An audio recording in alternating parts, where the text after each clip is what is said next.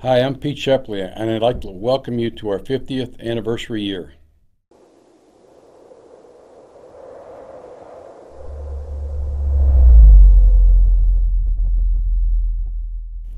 Hello, I'm Lonnie Workman with PSE Archery, and today I'm here to introduce our 2020 Carbon Bow.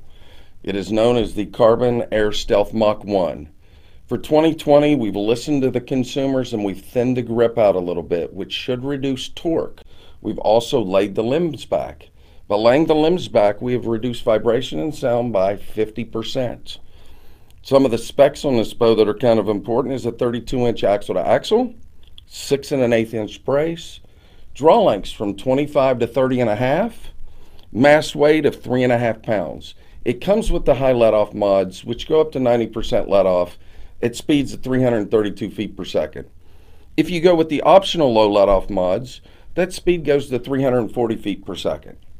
One thing that we're extremely proud of here at PSE is we have brought 100% of our carbon technology into our building. This bow is 100% American made here in Tucson, Arizona. Please get out to your dealer, give the bow a try. I think you'll really like it. Thanks for your time, guys.